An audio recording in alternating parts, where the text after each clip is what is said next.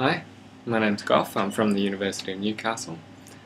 Uh, yeah, we're just about to show you quickly how we use the Voyager Viaflo pipette to transfer samples from a Eppendorf tube rack into a PCR plate. We love it, it's really easy to use and uh, we're quite happy with it.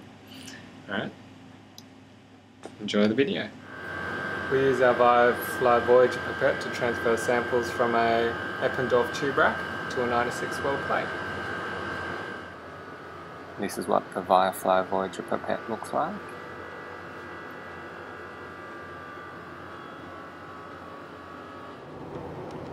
Here I'm programming for a repeat dispense where I pick up 4 microliters and transfer 2 lots of 2 microliters.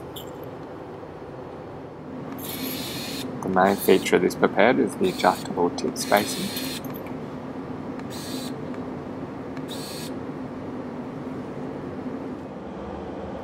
So here I'm aspirating the four microliters.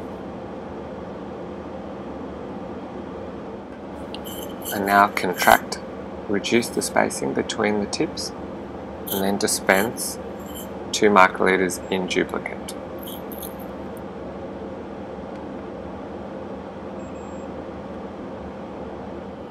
So that's how we use the Voyager to pipette samples between different plate formats. Thanks for watching.